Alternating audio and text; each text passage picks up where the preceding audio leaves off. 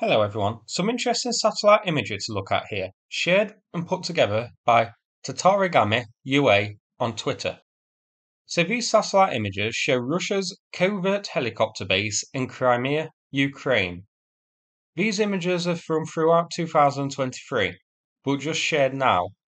This base was set up shortly after Ukrainian forces liberated Kherson, with Russia moving helicopters from its Chaplynka base, which became within range of HIMARS, to other locations, including Berdyansk, which you'll remember got hit by ATACMS and has now been dispersed as well, and also to here. So far, this base hasn't been hit. We'll have a look later if ATACMS can reach it. On this image we can see that there are 20 helicopter pads on a beach, with 10 occupied by helicopters.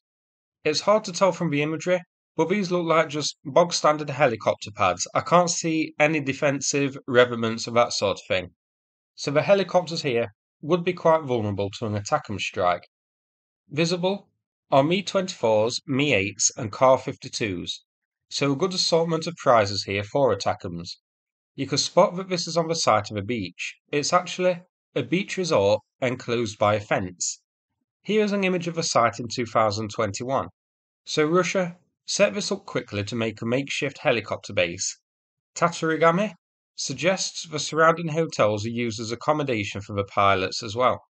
Now, what I find interesting would be is if this location, pretty much on the beach, took any damage during the storm which hit the Black Sea a week or so ago.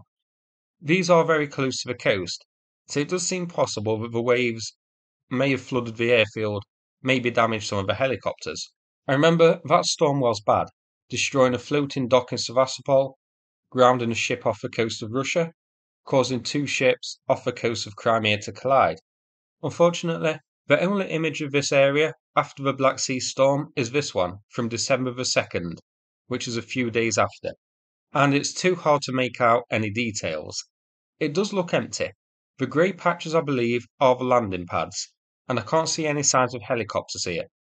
So it is possible that during the period of bad weather, these helicopters were transferred to a safer area. Or is the grey patches maybe flooding over the um, helicopter pads? I'm not too sure. It's too hard to tell.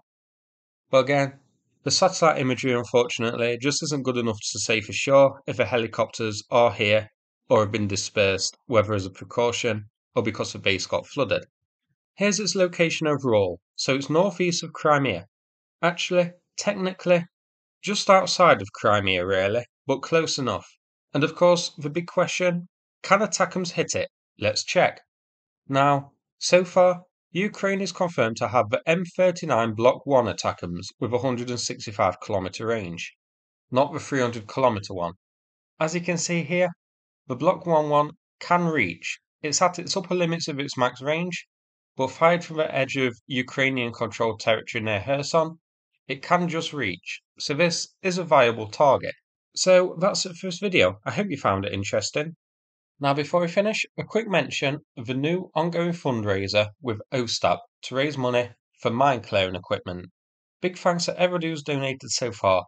We've raised money for him in the past and he requests for funds to be sent to my PayPal and then forwarded on to him afterwards. Thanks very much and take care everyone.